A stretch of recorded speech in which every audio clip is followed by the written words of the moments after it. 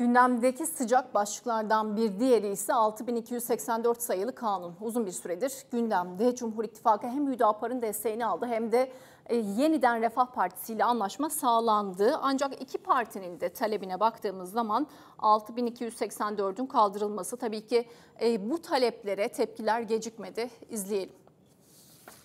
6284 sayılı kanun hedef haline geldi. O için kadın hakları pazarlık konusu yapıldı.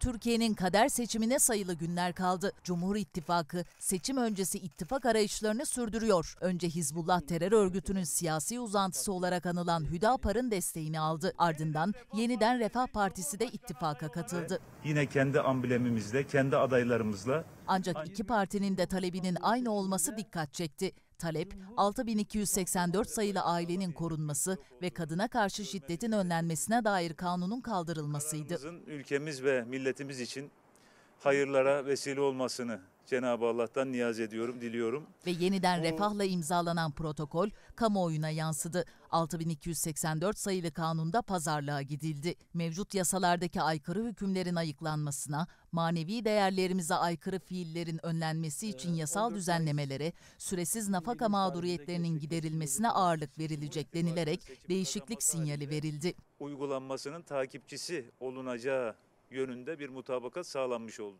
Bu pazarlığın ardından tepkiler de sürüyor. CHP İstanbul Milletvekili Gürsel Tekin dikkat çeken bir paylaşım yaptı.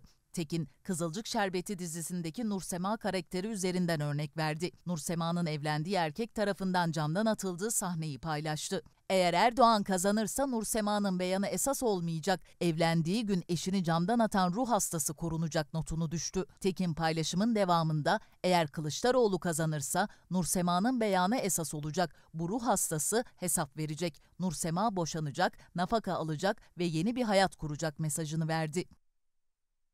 Talep Parti içinde de tartışmalara yol açmıştı. 6284'de AKP Grup Başkan Vekili Özlem Zengin, Aile Bakanı Derya Yanık, Gaziantep Belediye Başkanı Fatma Şahin ve Erdoğan'ın kızı Sümeyye Erdoğan Bayraktar sahip çıkmıştı. Kırmızı çizgimizdir demişlerdi. Ancak partinin erkekleri aynı fikirde değildi. Haklarına sahip çıkan kadınları hedefe koymuşlardı. Özlem Zengin tehdit edilmişti. Ve ben de buradan söylüyorum. Bizim için önemli bir konudur ve kırmızı çizgimizdir. 6284. Zengine muhalefet kanadından destekler geldi. Bir destekte İstanbul Büyükşehir Belediye Başkanı Ekrem İmamoğlu verdi. İmamoğlu, lütfen kırmızı çizgiyi savunmaya devam edin diyerek AK Partili kadınlara seslendi. Halbuki, halbuki iktidar partisine mensup kadın yönetici ne demiş de saldırıya uğramış? 6284 sayılı ailenin korunması ve kadına yönelik şiddetin önlenmesine dair yasa bizim kırmızı çizgimizdir demiş. Değişmesin, hafifletilmesin demiş. E doğru demiş. Ben alkışlıyorum hanımefendiyi.